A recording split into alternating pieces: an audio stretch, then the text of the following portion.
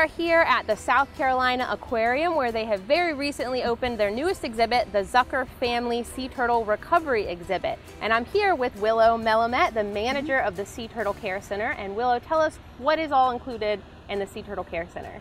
Oh, so there's multiple layers that incorporate under the umbrella that we call the Sea Turtle Care Center. Um, so with that we have the basement facility, which is our Sea Turtle Hospital.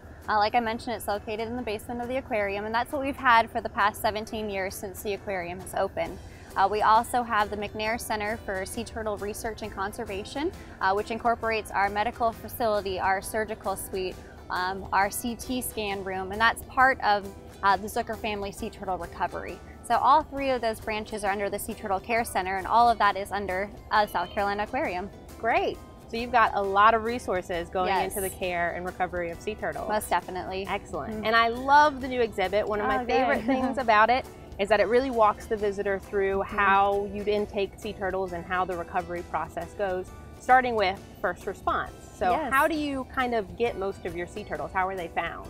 Yeah, so for us here at the aquarium, we're on call 24-7, holidays, after hours. Um, we always have um, that ability to get a stranded turtle call. Um, and that call comes from the South Carolina Department of Natural Resources. Um, so the Sea Turtle uh, Salvage Network is out there looking for those stranded sea turtles, um, reporting them, and then bringing them here with volunteer transporters or with DNR employees.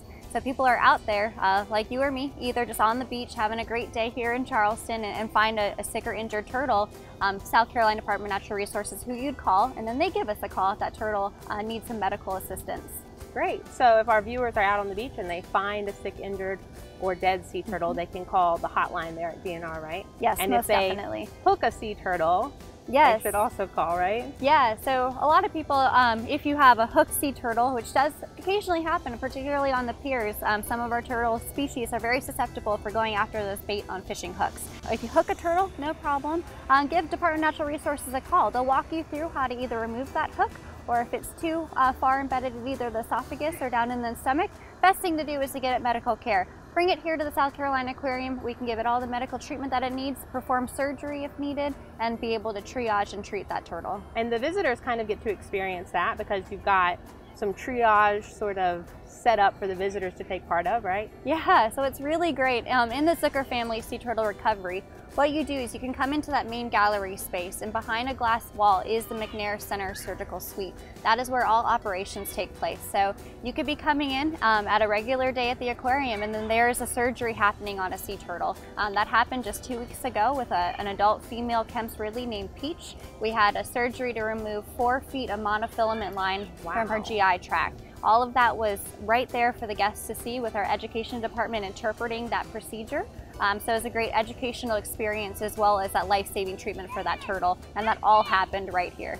Great. So everybody gets a really first-hand view of yeah, that. Yeah, exactly. Get everybody excited about the sea turtles. Yeah, it's pretty amazing. and you've also got recovery tanks so people can actually see the sea turtles while they're recovering and getting ready for release, right? Yeah, so another component is that it is a working hospital. So up in the recovery, we have seven tanks. The five in the front are um, big tanks. They're deeper, they're larger, they have great filtration on them. So they're things that we've learned over the past 17 years. But the tanks that we were working in the basement, uh, we figured out what works for us, what life support systems we need, what filtration, um, really to cater to sea turtle rehabilitation. So when we built this new facility, we knew exactly what we wanted and we knew what to build and, and that's what we got, which is amazing.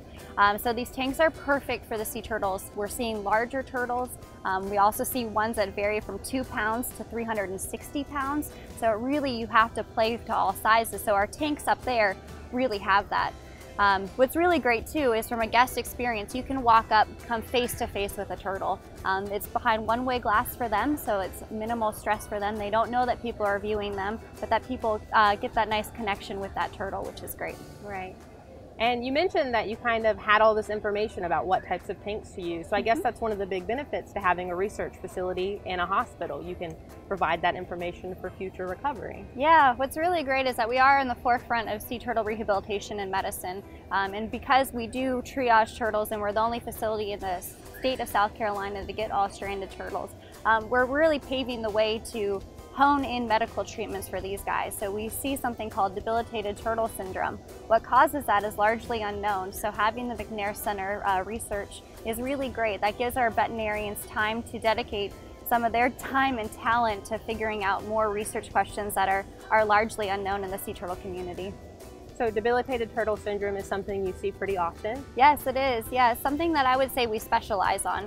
So this is, um, the symptoms are turtles that are severely emaciated, covered in barnacles, covered in that epibiota layer, and have been floating at the surface of the water for several months. Everything with sea turtles takes a very long time, so they can go several months without eating. But by the time they finally strand onto the beach, they really are on death's door, and it is up to us to give them that life-saving treatment, that supportive care. And it doesn't take just a few weeks to recover, it takes months to years for these turtles to really get back um, to the body condition and to the blood work that we need them to be at to be able to release. So a lot of time, effort um, goes into taking care of the debilitated turtles in particular. Yeah.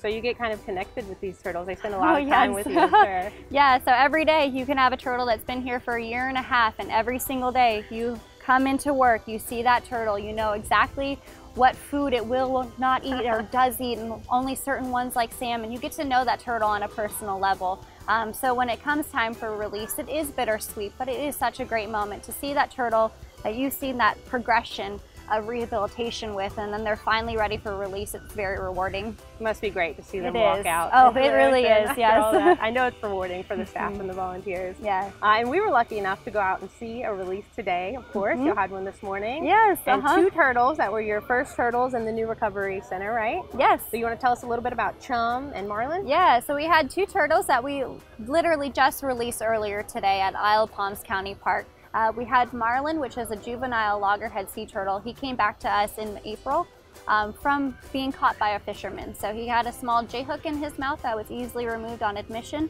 um, but he was on that early stages of debilitated turtle syndrome. So he was um, in lower body condition, poor blood work, so it took several months for him to recuperate and be ready to be released. Uh, he was joined with his roommate, which is right next door um, in that tank next to him, um, Chum. Chum is a juvenile uh, Kemp's Ridley, which is the most critically endangered of the sea turtle species, and he had a fairly large treble hook that was um, in his esophagus after being hooked by a fisherman. So luckily that fisherman called Department of Natural Resources and that turtle came to us, which was great because it required surgery to remove. Left untreated, that hook would probably have been fatal. So Chum and Marlin took about three months to rehabilitate and today was their big day to go back home. Yay! Yeah. Glad we got to catch it. yeah, it was really exciting. So our viewers, they love sea turtles now. Yes. They've learned all oh, about good. them. yes. What can they do at home or when they're on vacation at the beach to help sea turtles and their health in general in the environment? Yeah, there's a lot of things and um, honestly the list goes on, but just a few. Um, right now is nesting season. So nesting season starts in the beginning of May and goes until October. Um, so right here in the state of South Carolina, loggerhead sea turtles are nesting on our local beaches. So making sure those beachfront lights are off. Um, little hatchlings will disorient to house lights, so keeping those lights off is good. Filling in your holes when you're at the beach, the turtles could get stuck in them.